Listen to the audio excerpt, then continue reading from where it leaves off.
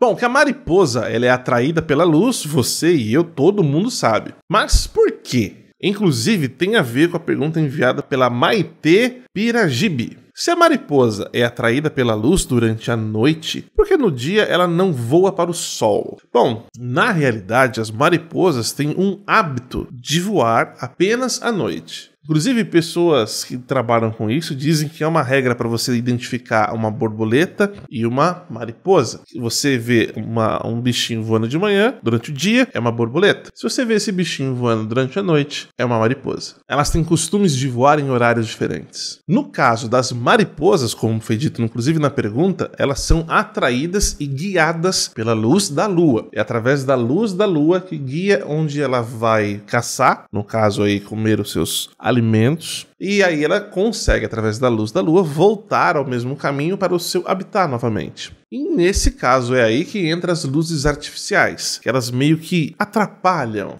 confundem, digamos assim, as mariposas, que se sente atraída por aquela luz artificial e começa a seguir ela, a se desorientar, até que ela começa a se atrair, atrair e encosta na luz e morre. É, é o triste fim da mariposa.